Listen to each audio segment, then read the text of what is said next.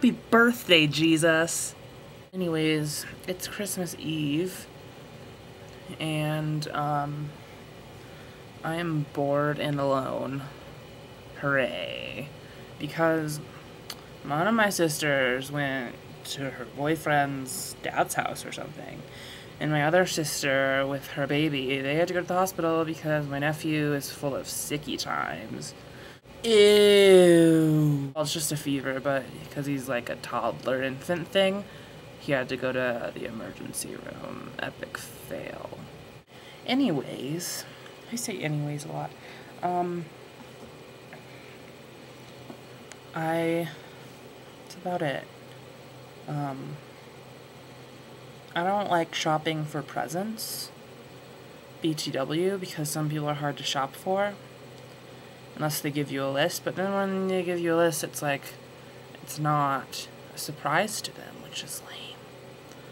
But, most of my Christmas presents are under the tree, except for these two. I'm so good at gift wrapping, um, just terrific at it.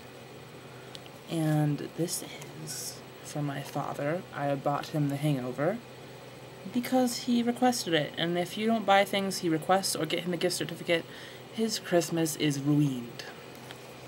And this is for my Latina stepmother, Martha. Um, I bought her Shakira She-Wolf, for she enjoys Spanish music. And she enjoys Shakira, and she hinted that she wanted it. So.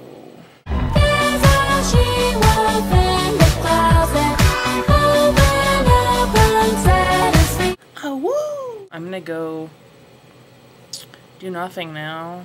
Mm, Jesus' birthday. Even though Jesus' birthday is not in December, and it is in, well, it's speculated to be in March, April, May, June, or July kind of weird. I don't know what that's about. I should fix that or something.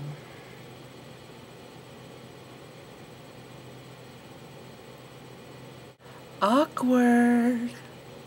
I hope any of the people still subscribe to me um, have a happy, wonderful holiday. Okay, bye. The only place you'll wanna be is underneath my Christmas tree.